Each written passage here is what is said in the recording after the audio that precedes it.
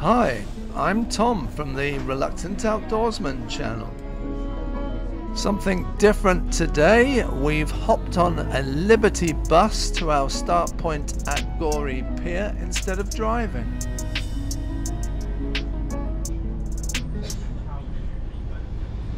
You know what? I think Paddy and I might start doing this all the time. Especially now I'm a pensioner and get free bus travel.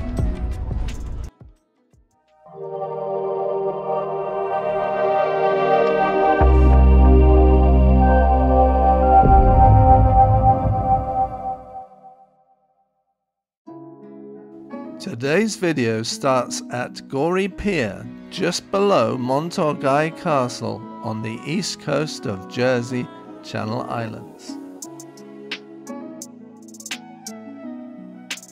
We set off heading southwards along the sea wall from Gorey Pier, before dropping down onto the beach at Grouville Bay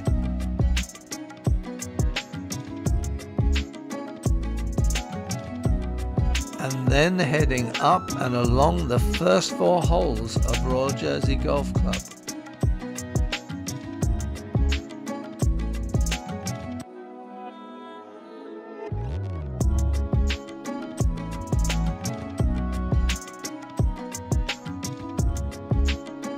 We continue along the sea wall before dropping down to the beach again.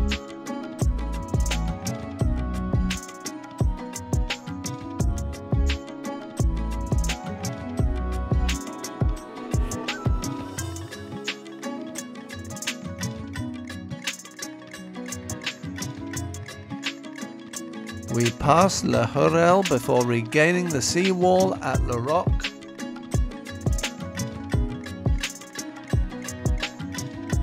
Where we walk to the end of the pier, the southernmost point of Jersey.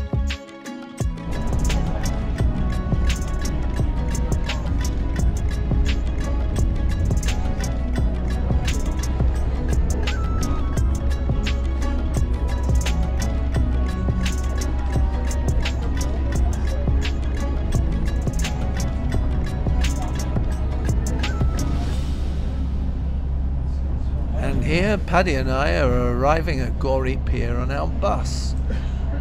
I'm taking advantage of my new Liberty Bus AvanChi card, valid for five years, which gives me free bus travel all around the island. I presume this is a joint venture between the states of Jersey and the bus company.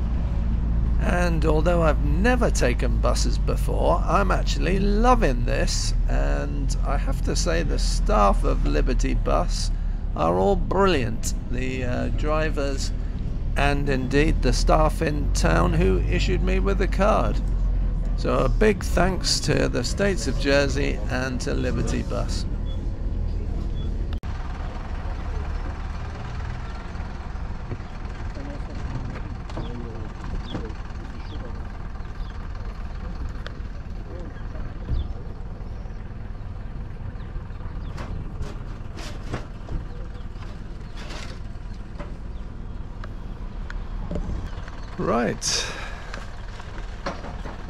Hi, I'm Tom from the Reluctant Outdoorsman channel, and as you can probably see in the background, we're at Gorey Pier and we're doing the next step of our walk heading southwards down the east coast of Jersey.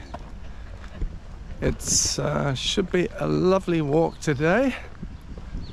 The weather's nice, it's the 5th of June, Wednesday, and look who's come along for the ride. He's in the shadow, you might not even be able to see him. It's our Paddy G. So here we go. This is a lovely part of the island, Gorey. And the problem we've got today, Paddy off there, the problem we've got today is that unlike the north coast of Jersey, we have not got uh, nice footpaths all down the east coast. So we're going to have to experiment a bit because I haven't walked all of the East Coast before. Um, definitely a lot of it. We can walk along the beaches, we can go along the sea walls, we can also walk along the edge of Royal Jersey Golf Club, which is what we're going to do. Uh, we'll reach Jersey's southernmost point and uh, then we'll start heading along the south of Jersey. So it should be nice. Hello. And uh, as I say, beautiful day. What more could you want? If we followed the road that goes along the coast, it does go inland on quite a few places. So I'm going to try and stay as near to the coast as possible. There may well be, as we start heading towards town, a couple of beaches that I don't think we can get around. I'll try. The tide is pretty low at the moment, who knows. But if we can't, then we may have to double back, find the road and do a bit along the road before we can get back on a beach. So here we are. These gardens are lovely. We have walked this little bit before.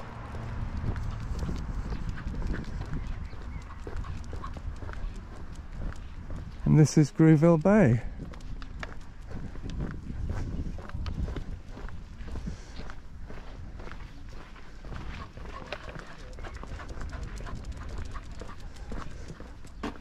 None of these houses were here what 10 15 years ago certainly not 25 years ago for those of you who remember Jersey from way back there used to be I think it was called well I don't know what it was called. It was a barbecue restaurant. And I think there were wagons in it. Well that was there.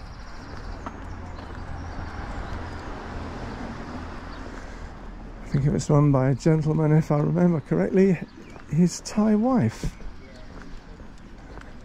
But that was many moons ago.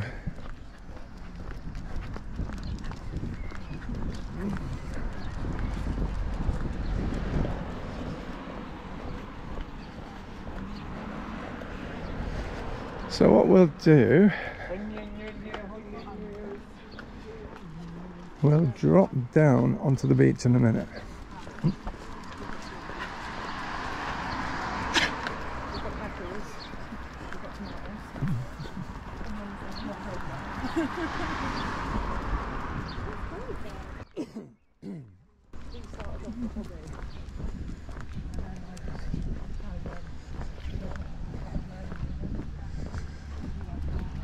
So there's something new about today's video. And as you may have seen if I've included it at the beginning of this video Paddy and I arrived on a bus. And uh, the reason for that is I'm now 65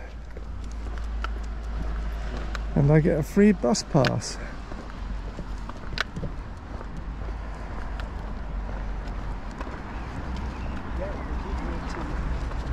And I think it's a good idea because if I get the bus to locations and then walk I obviously don't have to walk back to the car afterwards. So in the up until now when I've done a hour and 20 minute walk when we've reached the destination Paddy and I have then got an hour and 20 walk back to the car, which was fine because we filmed it. But now we should be able to walk much further in one direction. And hence, I suspect we'll finish the east coast of Jersey today and start heading along the south coast.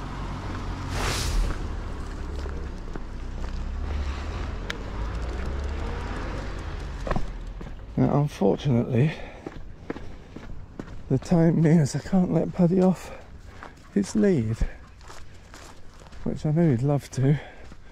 We're only going to walk a little bit along the beach then. We're going to nip up and head along Royal Jersey Golf Club. How beautiful it is now.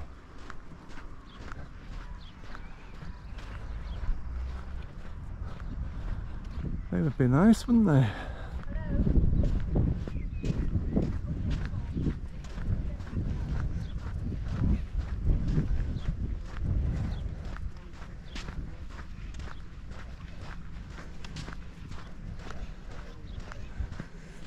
So I have to say, as a child growing up in Jersey, this is a beach we would never come to. You'd go to St. Ouen's, you'd go to St. Brelade, you would go to uh, even, well, Havre des Pas, and even along the front, just out of town, but now I come out here. And as you can see, it's pretty spectacular, isn't it? Pretty spectacular.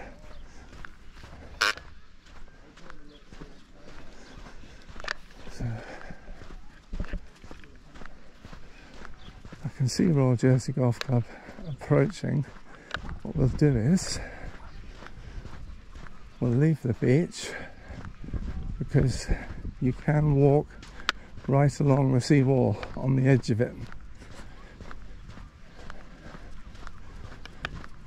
And uh, we might may be able to get some idea of just how tough the rough is at Royal Jersey Golf Club at the moment because it is virtually unplayable.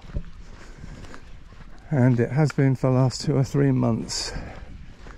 And I was talking yesterday, it wasn't yesterday, it was the day before yesterday, to Wayne Stevens, who is a member of Royal Jersey Golf Club and who used to be a professional golfer and who was leading the Open, the British Open, at one stage.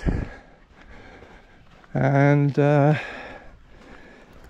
he can't believe how tough the rough is, and he said it is set up.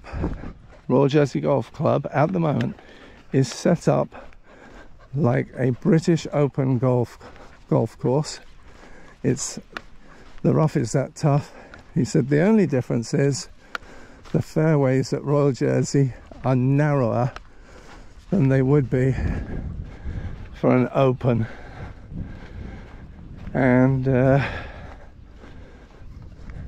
if you're not into golf don't worry I've nearly stopped talking about it and we'll get on to uh, other Jersey matters but to have Royal Jersey that set up that difficult is a bit crazy because your average golfer of which I'm one 14.8 handicap at the moment it is impossible. Absolutely impossible. You hit it two yards off the fairway, and either you lose your ball or you can't get it out. Buddy. Whew. Right, we're just going to cut around the back to Royal Jersey Golf Club.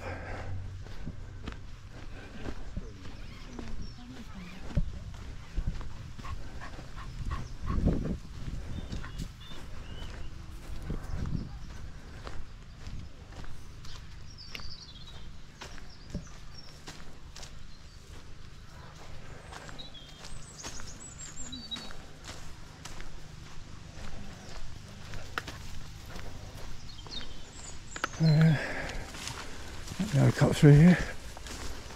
Yeah.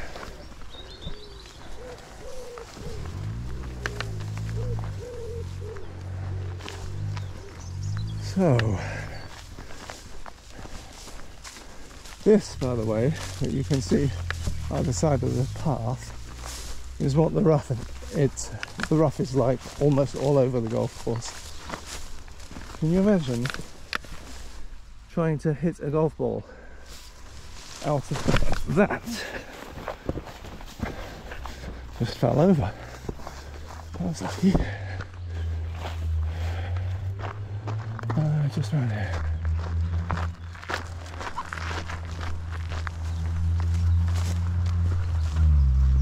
As you can see, that is the sixth green.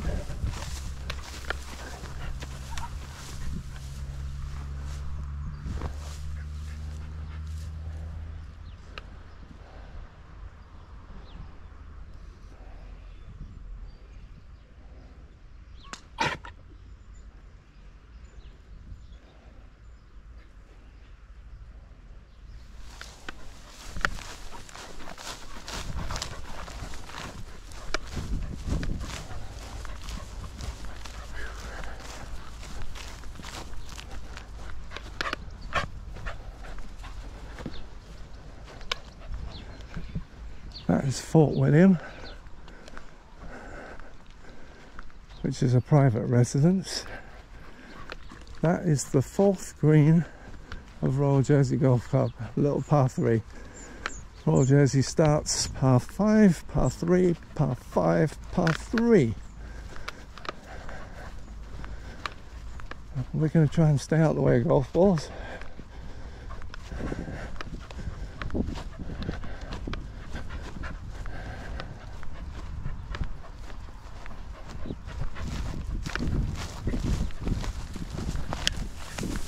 This, as you can see, it's the rough just off the green. For anybody who plays golf, you'll know that that is virtually unplayable. And it is all over the course. The course looks amazing, but it's in, virtually impossible to play.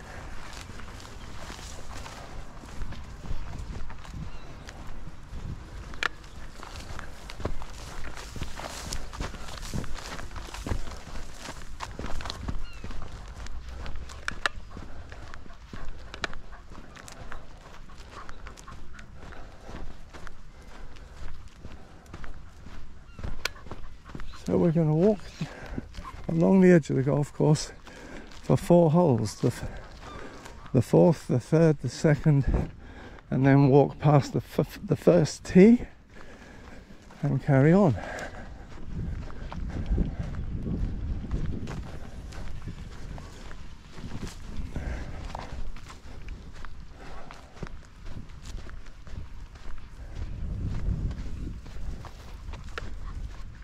I mean, this sort of grass doesn't even qualify as rough at the moment.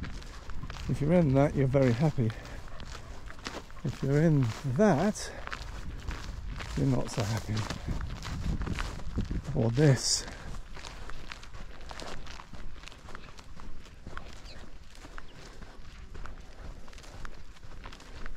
But as you can see, it's quite beautiful.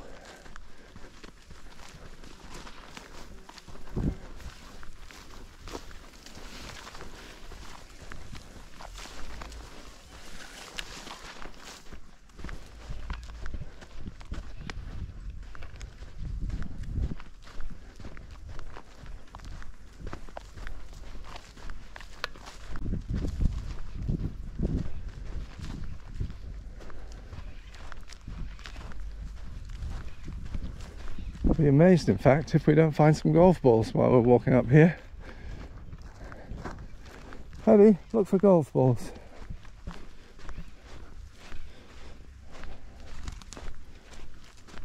Especially just ahead here, which is if people push their drive just a little bit on the third, it goes in this sort of stuff and it's virtually impossible to find.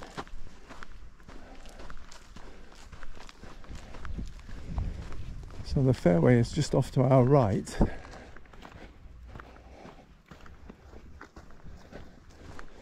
As you can imagine, if you hit it in that.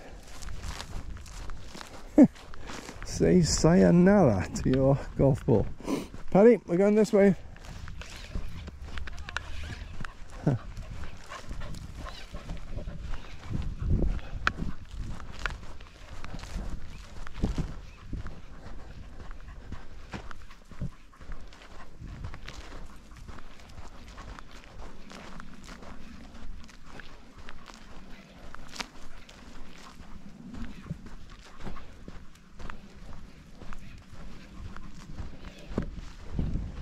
Going to stop and look for golf balls, but I know if I wandered around in that, within five or ten minutes, you would have five or ten golf balls.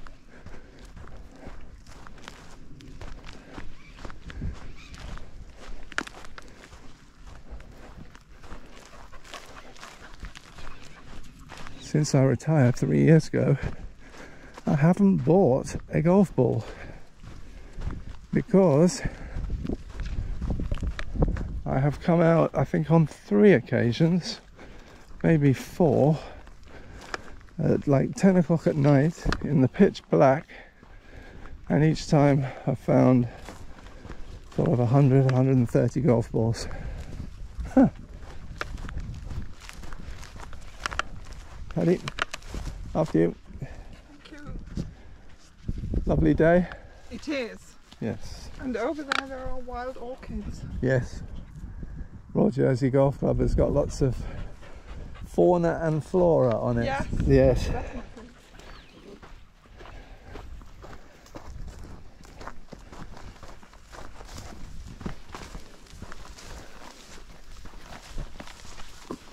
I really need to train Paddy up to search for golf balls.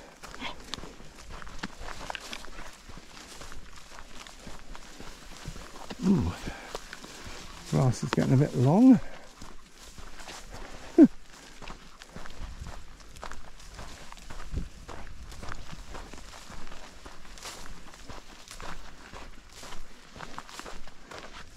I mean, look at this. People really do hit their golf balls down here.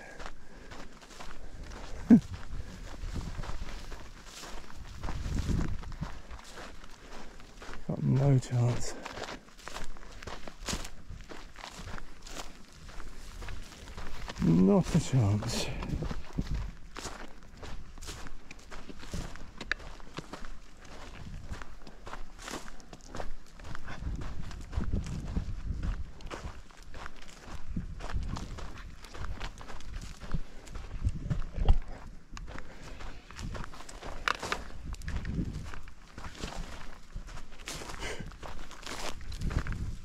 Paddy.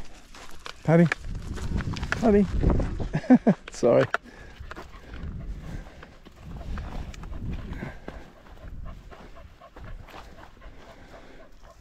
People teeing off on the third. It's worth staying here in case.